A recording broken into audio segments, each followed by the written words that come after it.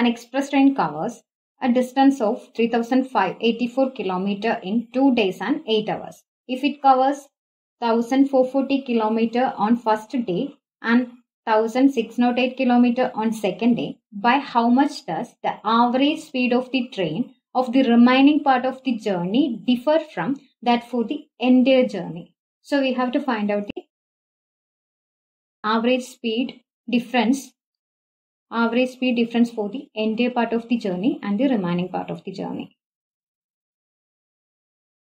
Here average speed difference means average speed of the remaining part of the journey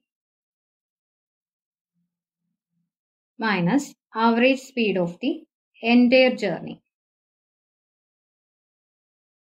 Here a train travels 3584 total distance. This is 3584 kilometer in 2 days and 8 hours. That is 48 plus 8 is equal to 56 hours. And first day it travels 1440 kilometer. Next day it travels 1608 kilometer. And remaining distance means 3584 minus 1400 plus 1600 is 3000 and 8 plus 40 48. So 3048. So this will 14 minus 8 is equal to 6. 58 minus 3 is equal to 4. 57 minus 4 is equal to 53. So 536 kilometer is the remaining distance.